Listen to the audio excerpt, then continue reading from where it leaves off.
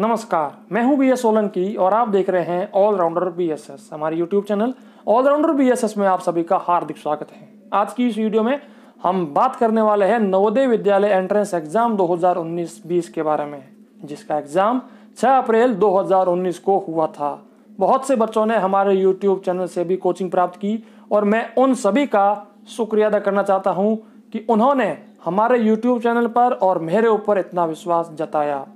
तो मुझे कई सारे बच्चों ने कॉल करके या फिर ईमेल पर भी लिख कर मुझे भेजा, वीडियोज़ के नीचे कमेंट बॉक्स में लिख के भेजा कि, सर, हमारा एग्ज़ाम बहुत अच्छा हुआ है और प्लीज़ आप उसकी आंसर की जल्द से जल्द रिलीज़ कीजिए। तो मैं थोड़ा पर्सनल काम में थोड़ा सा बिज़ी था, लेकिन मैंने आपकी जो आंसर की है वो अब बना दी है। मैंने सारे क्वेश्चन खुद सॉल्व किए हैं और एकदम सही सही सारे क्वेश्चन को सॉल्व किए हैं। हमारी इस वेबसाइट का लिंक मैं आपको वीडियो के नीचे दे दूँगा। आप इस वेबसाइट पर जाकर आंसर की की पीडीएफ भी ले सकते हैं और आंसर की चेक भी कर सकते हैं। अब चलिए मैं आपको दिखाता हूँ आंसर की के बारे में। क्या है? ये देखिए, जैसे ही आप हमारी वेबसाइट खोलते हो, वहाँ पर आपको आंसर की मिल जाती है। जैसे कि सबसे पहले जो 40 प्रश्न थे, मैं आपको सबसे पहले बता दूँ कि मेरे पास सिर्फ़ एक क्वेश्चन पेपर मिला है, इंग्लिश मीडियम का, जिसकी जो सीरीज़ थी वो थी डी। अब अगर आपके पास ए सीरीज़ बी सीरीज़ या सी सीरीज़ का कोई क्वेश्चन पेपर है, हिंदी मीडियम या इंग्लिश मीडियम कोई भी मीडियम का तो आप उसे सही से स्कैन करके मेरी ईमेल आईडी जो कि मैंने इस वीडियो के नीचे आपको दी है allrounder B S S Y T दो हज़ार उन्नीस at the rate of G mail dot com उस पर आप प्लीज़ सेंड कीजिए ताकि मैं जल्द से जल्द इसी वेबसाइट पर आपके सबके जो आंसर्स है वो अपलोड कर दूँगा।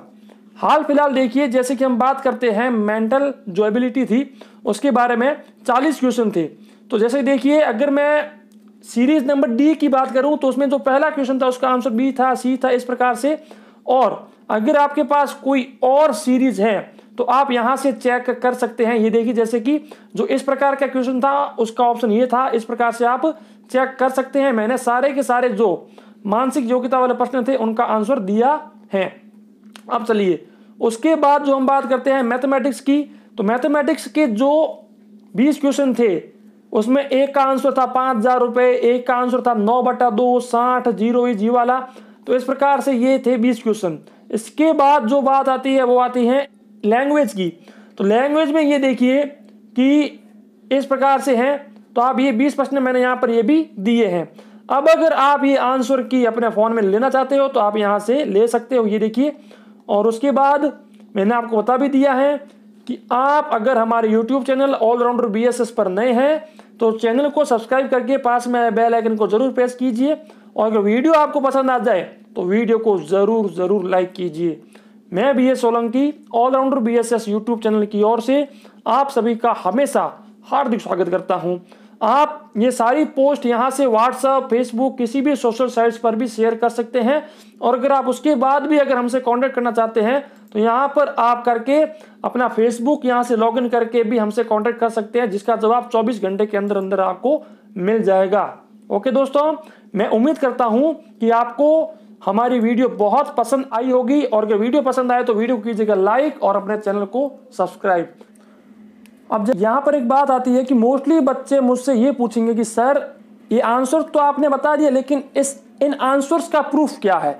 मतलब कि इन्हें सॉल्व करके बताइए। तो मैं जल्द से जल्द हमारे यूट्यूब चैनल पर इनका एक एक सही से सॉल्यूशन आपको बताऊँगा। तो आप हमारे यूट्यूब चैनल पर बने रहिए और वीडियोज़ को वॉच करते रहिए। जल्द से जल्द मैं इनके आंसर्स एकदम सही से एक्सप्लेन करके आपको बताऊँगा।